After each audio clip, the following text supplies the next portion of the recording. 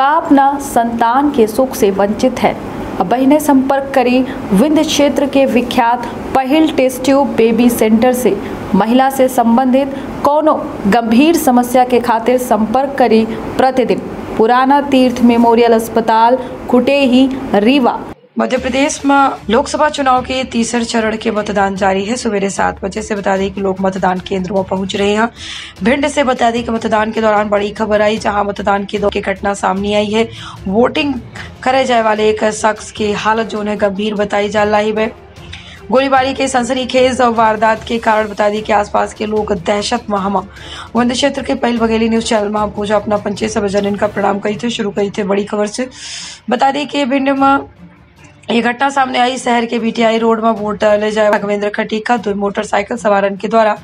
गोली मार दी गई गोली युवक के पेट में लगी है। आरोपी महावीर नगर से मोटरसाइकिल में सवार हुई के पहुँचे रहे। घायल का जिला अस्पताल भेजा गया है, जहाँ प्राथमिक उपचार दिए के बाद उनका गंभीर स्थिति के मद्देनजर ग्वालियर रेफर कर देगा भतीजा सागर के द्वारा जानकारी दी गई कि कुछ दिन पहले आरोपी के साथ विवाद भरा हालाँकि विवाद का रहा, काहे रहा, फ़िलहाल के बारे में जानकारी उपलब्ध नहीं हुए से किया मौके पर पहुँची पुलिस के द्वारा अज्ञात मोटरसाइकिल सवार के ऊपर मामला दर्ज कर का है। दूसर कई पूरे मामले को लेकर भिंड कलेक्टर के द्वारा अपन बयान दिन का उनके द्वारा कहा गया कि यह मामला पुरान रंजिश के जुड़ा है। विद्यापति कॉलेज के ठीक सामने राघवेंद्र खटीक के घर है। घर पर युवक बैठे रहे। यही दौरान दो लोगों के द्वारा फायरिंग कर दी गई। गोली राघवेंद्र के पेट पर लगी जिससे राघवेंद्र बुरी तरीके से घायल हो गए।